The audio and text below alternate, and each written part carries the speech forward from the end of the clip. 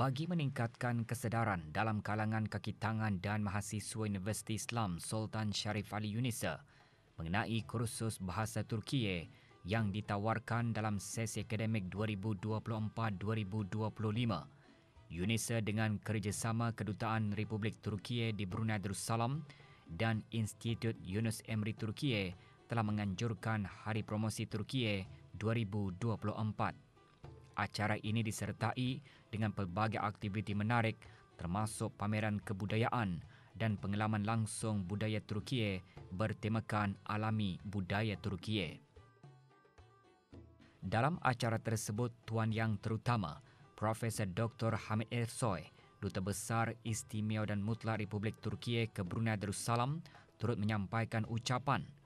Beliau berkongsi pengalamannya serta menekankan beberapa kelebihan mempelajari bahasa Turkiye termasuklah peningkatan kefahaman yang lebih mendalam terhadap budaya dan sejarah Turkiye yang kini semakin relevan dalam konteks hubungan antarabangsa dan kerjasama antara negara. Tuan yang terutama juga berkongsi mengenai pelbagai aktiviti yang telah dianjurkan oleh Kedutaan Republik Turkiye di Brunei Darussalam bersama Institut Yunus Emri Turkiye. Antara aktiviti tersebut termasuklah kursus bahasa Turkiye, bengkel kaligrafi dan bengkel masakan tradisional Turkiye. Beliau turut membincangkan peluang-peluang melanjutkan pengajian di Republik Turkiye yang menawarkan pelbagai program akademik dalam bidang-bidang yang semakin mendapat perhatian di peringkat antarabangsa. Acara tersebut turut diisi dengan sesi pengajaran asas bahasa Turkiye yang disampaikan oleh Puan Leli Ersoy, isteri kepada Duta Besar Istimewa dan Mutlak Republik Turkiye ke Brunei Darussalam. Dalam sesi tersebut, Puan Lely berkongsi tata cara asas memperkenalkan diri termasuk cara memperkenalkan nama dan pekerjaan dalam bahasa Turkiye. Pengajaran ini bertujuan memberi gambaran awal kepada peserta mengenai struktur dan penggunaan bahasa Turkiye dalam komunikasi harian. Selain itu, kaki tangan serta mahasiswa-mahasiswa turut diperlihatkan beberapa video yang dihasilkan oleh mahasiswa Universiti Teknologi Brunei UTB. Video-video tersebut memaparkan pengalaman mereka yang telah berpeluang mengikuti kursus bahasa Turkiye sebagai salah satu modul pembelajaran di UTB. Tayangan ini memberikan inspirasi dan gambaran nyata tentang bagaimana pembelajaran bahasa Turkiye dapat memperkaya pengalaman akademik dan membuka peluang baharu dalam kerjaya dan hubungan antarabangsa. Benim hobim kitap okumak, benim favori rengim yeşil. Sonraki Hakimde 5 eğlenceli gerçek. Ben çiçek seviyorum, ben kahve Pameran kebudayaan bertajuk Alami Budaya Turkiye menumpukan kepada empat bahagian utama. Bahagian pertama memperkenalkan keindahan Republik Turkiye dengan mengetengahkan beberapa destinasi menarik dan khazanah warisan yang kaya di negara tersebut. Ini termasuklah pameran pakaian tradisional Turkiye yang memperlihatkan keunikan budaya dan sejarahnya. Bahagian kedua, pameran menumpukan kepada pembelajaran bahasa Turkiye dengan memaparkan jenis-jenis buku yang digunakan mengikut peringkat pembelajaran. Bahagian ini memberikan pengunjung gambaran jelas mengenai struktur dan tahap-tahap penguasaan bahasa yang diajarkan. Yunus Emre Institute. Yunus Emre Institute is one of the institute of, uh, showing Turkish culture and language all of the world. Uh, we have more than 100 uh, uh, university and around 50 country. We have uh, many branch. Uh, so in Brunei also it become uh, two years uh, we are here under our Turkish embassy we are working. Uh, we uh, show Turkish culture in Brunei and uh, uh, like archery also. Uh, and beside this, uh, majority we teach the Turkish language also, whoever want. Uh, nowadays, currently, we have in UTB We have in IBTE, in Pusat Sajara, just we complete one course in the MINDEF. In UNISA also, uh, it become two years we have Turkish language here. Uh, in some places, uh, our course is for public course. Everyone can join. Uh, in some universities, elective course. In UNISA and IB, UTB is elective course. But other uh, places, just everyone uh, from 7 to 77 in every age, people they can join our course. Basically, we start from the beginner, uh, beginning, uh, because uh, first you have to learn the alphabet then you can read some text in Turkish language. So we start from the introduction, basic introduction. Uh, after that, we start the alphabet. Then, the, from the simple to the uh, difficult level, we teach. The first level is A1. If they complete, anyone want to join, then the second level is A2. After that, we have uh, six level totally if you complete the last level is you can be Turkish teacher also. Uh, in our system, uh, we follow CEFR uh, Europe standard teaching. Uh, in our uh, system, we uh, focus on the four skill: comprehensive reading, listening, and speaking. Mostly, we are not focused so much about the grammar. Mostly, we try to teach people so they can communicate with the other people. Uh, we know the Brunei people, uh, most of the people they go to Turkey, they visit. So during their uh, vacation in Turkey, sometimes they didn't need uh, some basic uh, language. So mostly we focus on this in our system. We don't focus the, about the uh, grammar so much. Of course, there are many advantage of uh, this uh, because if you want to do any business or you communicate with the Turkish people, uh, in Turkish people is English not common, unfortunately. Uh, so you have to know Turkish language. If you want to go for study, if you want to make any relationship, if you some people they just want to uh, understand Turkish movie, you know they are very famous all of the world. Uh, some people they just want to understand this, uh, so that's why they learn Turkish language. Uh, or if you want to go study Turkey, this is also possible. Uh, so you can learn Turkish language here. Then after that you can go Turkish for master or another uh, career if you want. Bahagian ketiga, pameran memfokuskan kepada seni kaligrafi Turkiye yang merupakan elemen penting dalam sejarah dan kebudayaan masyarakat Turkiye. Bahagian terakhir pula menampilkan sukan memanah yang bukan sahaja menonjolkan signifikannya dalam budaya Turkiye tetapi juga memperlihatkan busur dan panah tradisional yang digunakan oleh masyarakat tersebut. Jadi PASMA sebenarnya ditubuhkan pada tahun 2017. Jadi PASMA ini sebenarnya ia merupakan satu badan institusi akademik uh, untuk uh, memperkenalkan sukan memanah di negara Darussalam. Jadi kami mempunyai beberapa program untuk uh, melatih dan juga uh, melahirkan beberapa pelajar-pelajar dan juga para pema- uh, para uh, atlet, negara juga. Jadi uh, salah satu daripadanya kami ada satu program yang bernama program CCA ECA memanah. Jadi program CCA ECA memanah ni kami tujukan uh, pada masa sekarang di beberapa buah sekolah dan sekolah sebelumnya pun ada seperti contoh uh, PT Songkurong, uh, Matap Sains, uh, uh, uh, ISB Bandar dan juga Seri Mulia Sarjana School.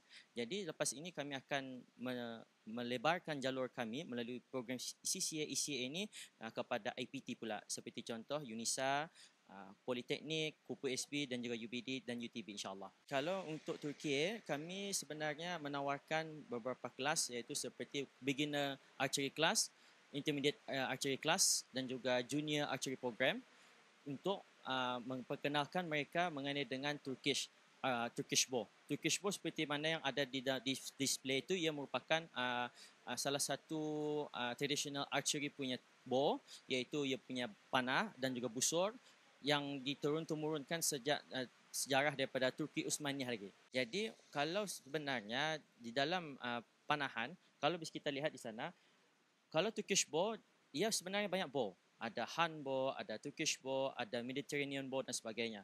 Tetapi setiap bow dia ada kelebihan. Salah satu kelebihan yang ada pada Turkish bow ialah dia punya ke, uh, dia punya kepanjangannya ada mempunyai banyak manfaat seperti contoh walaupun dia pendek ataupun ada yang pendek tetapi apabila ia pendek ia akan memberikan lebih kekuatan untuk memanah tetapi hakikatnya untuk memahir apa untuk menguasai Turkish bow mesti ada latihan-latihan tertentu.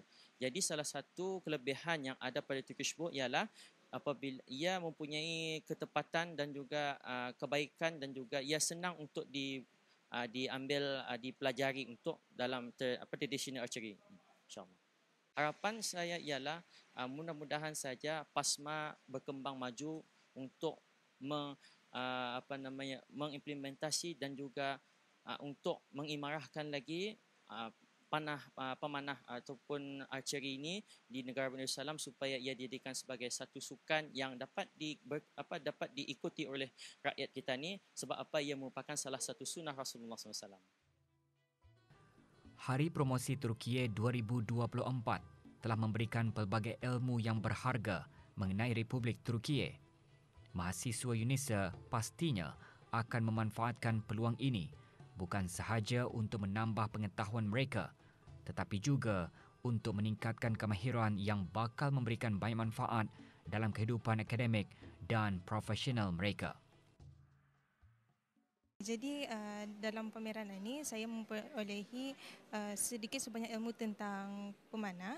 Uh, jadi orang membagi tahu tentang cara-cara memanah, cara-cara pemanah bow yang orang gunakan uh, dorang juga memberitahu apa yang dorang ajarkan jika mengambil CCA memanah ni seperti physical training, uh, posisi badan, cara memanah dan juga jenis-jenis pemanah lah macam tu. Seperti yang banyak Muslim tahu, memanah ni adalah salah satu sunnah Nabi.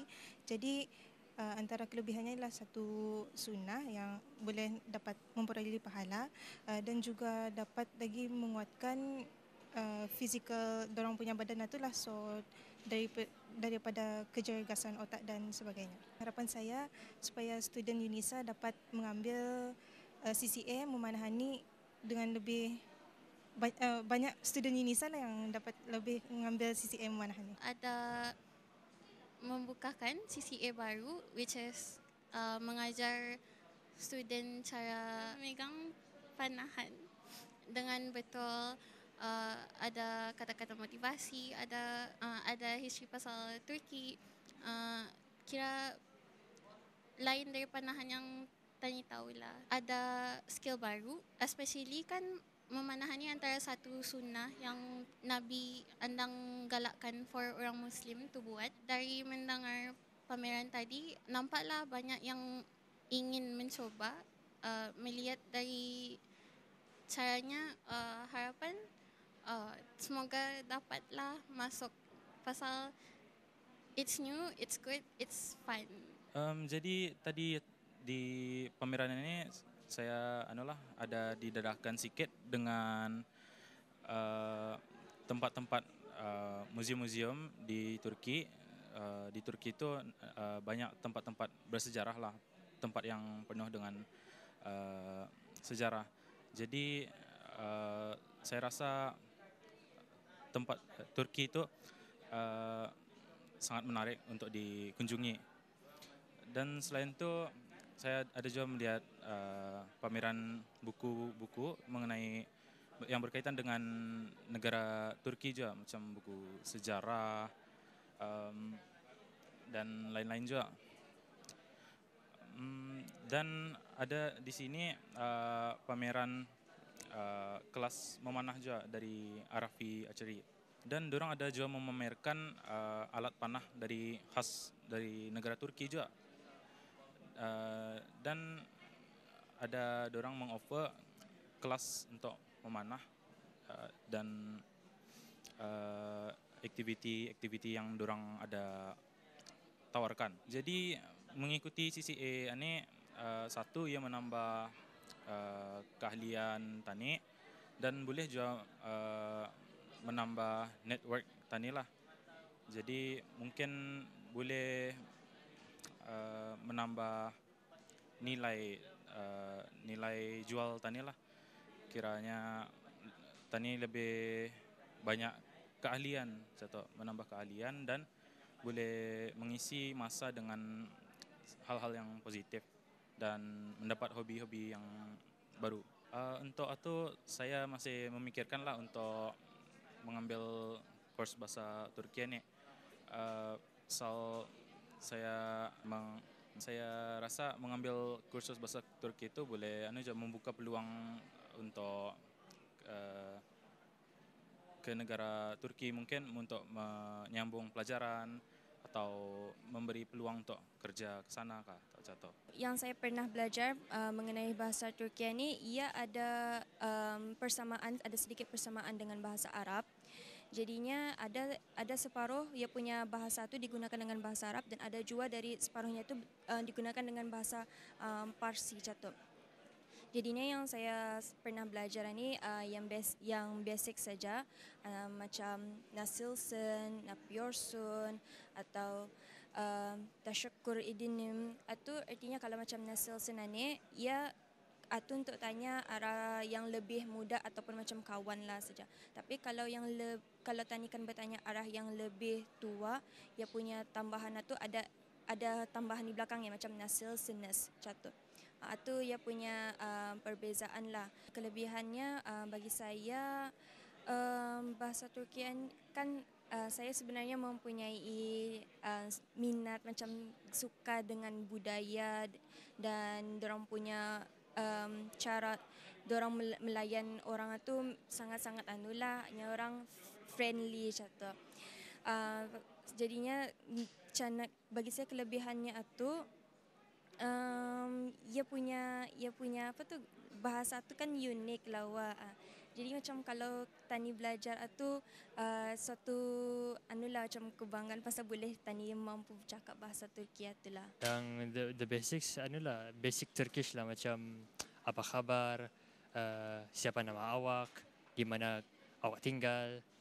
Um, yang bagi UNESCO atau UNESCO video kami mempelaj- dipamerkan kami dipamerkan macam budaya orang Turki atau macam tempat-tempatnya um, tempat tempat seronok atau macam tourist attraction lah untuk uh,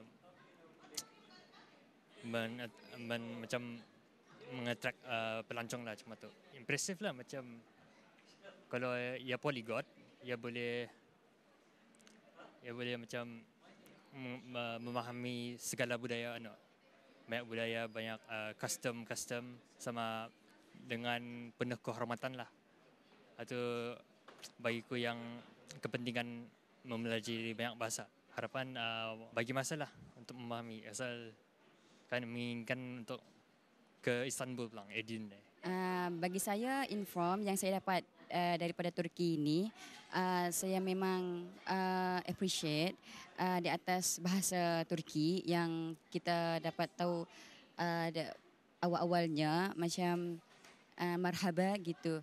Dan uh, lain-lain lagi jadi saya macam rasa uh, mau mengetahui dengan mendalami dalam bahasa Turki uh, dan dapatkan membuatkan saya tu suka dalam bahasa Turki. Dan uh, apabila saya keluar daripada Jubilee, saya dapat lihat uh, banyak gambar-gambar yang dia lukis dan banyak tulisan kod juga. Jadi uh, comel sangatnya dengan tulisan kod mereka. Dan uh, ada coklat dan ada minuman yang uh, namanya uh, Cola Turka. Itu uh, saya rasa bagus sangat bagi saya. Dan ada kitab-kitab, banyak-banyak kitab uh, kitab itu ada juga yang daripada kitab untuk kita belajar di uh, high school yang ada macam untuk kita tu praktik dalam bahasa Turki dan ada uh, ada information lain lagi yang itu macam belajar uh, main apa itu uh, uh, memanah uh, itu dan saya rasa insyaallah saya akan uh, join lagi apabila ada uh, aktiviti tentang Turki ini. Melalui acara ini, diharapkan minda mahasiswa UNISA akan lebih terbuka untuk meneroka pelbagai jenis kursus pembelajaran yang ditawarkan sebagai tambahan kepada ilmu dan kemahiran mereka.